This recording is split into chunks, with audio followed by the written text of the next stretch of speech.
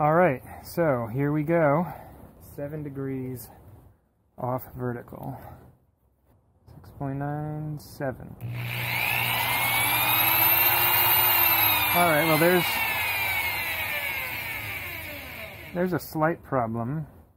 It seems like when you start drilling, it wants to bounce around. So maybe it'll, maybe it'll stabilize when I get further in.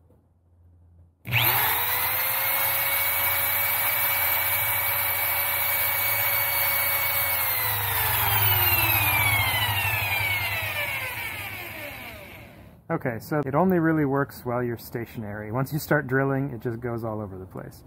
That's okay. You can still use that, you know, through periodic stops and starts to uh, make sure that you're still on track. And this was just a little pilot hole anyway, so...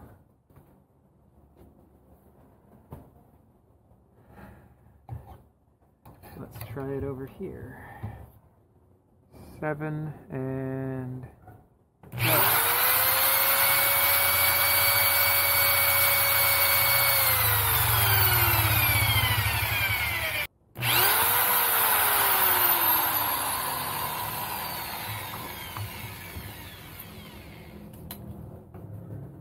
Okay, so it goes a little wild when you're actually drilling, but as long as you stop and start and stop and start, I would say that there's absolutely no reason that this would not be a valuable addition to anyone's toolkit.